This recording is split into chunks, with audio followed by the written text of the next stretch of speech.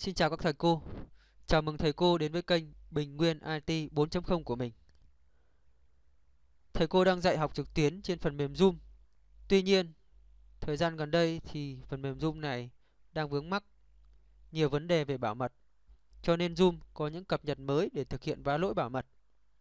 Vậy video này mình sẽ chia sẻ với thầy cô những thay đổi quan trọng của Zoom thầy cô cần biết để cập nhật và hướng dẫn cho học sinh để phục vụ cho công tác giảng dạy của thầy cô. Và để biết được những cập nhật mới của Zoom, thầy cô vui lòng bấm vào biểu tượng avatar, chọn My Profile.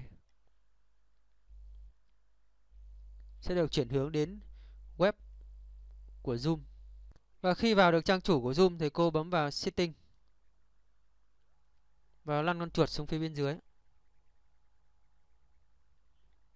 Thay đổi đầu tiên đó là yêu cầu mật khẩu khi lên lịch các cuộc họp mới. Và mật khẩu sẽ được tạo khi thầy cô lên lịch học và học sinh phải cần nhập mật khẩu để truy cập vào lớp học. Thay đổi thứ hai, đó là yêu cầu mật khẩu cho các cuộc họp ngay lập tức. Và nếu như thầy cô không tự đặt mật khẩu riêng, thì mật khẩu ngẫu nhiên sẽ được tạo khi bắt đầu cuộc họp. Và thay đổi thứ ba, đó là yêu cầu mật khẩu cho cuộc họp cá nhân sử dụng ID cố định của cá nhân. Và thầy cô có thể đặt mật khẩu ở đây. Đây mình đặt là 4 số 8. Thầy có thể chỉnh sửa, bấm vào biểu tượng bút và chỉnh sửa 1 2 3 4 chẳng hạn. Sau đó bấm server. Bấm continue để lưu mật khẩu. Đây, và nếu như thầy cô không đặt mật khẩu thì không thể lưu được. Đó là yêu cầu bắt buộc để tăng tính bảo mật.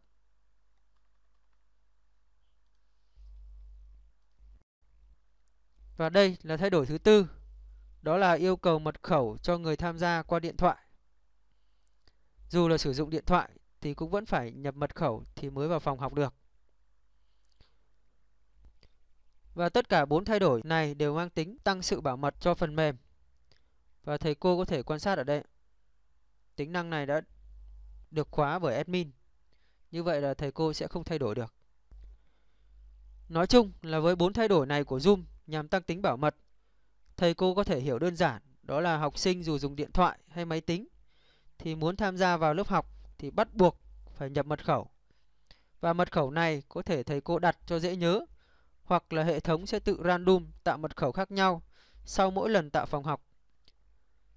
Và thêm một thay đổi nữa mà mấy hôm trước thầy cô có hỏi mình về mục kiểm soát học sinh làm việc riêng, mục Attention Tracking. Mình đã chia sẻ ở video trước à, tính năng này thì Zoom cũng đã tắt rồi. Rất tiếc phải không thầy cô? Với những thay đổi này hơi bất tiện nhưng để bảo vệ người dùng thì những thay đổi này là cần thiết. Và để Zoom được hoạt động ổn định hơn và cập nhật những phiên bản mới nhất thì thầy cô nên gỡ cái cài đặt cũ ở máy tính và điện thoại, tiến hành cài đặt mới. Cảm ơn thầy cô đã theo dõi. Nếu thấy hữu ích, hãy ấn like và ấn đăng ký để không bỏ lỡ những video rất hữu ích mới nhất.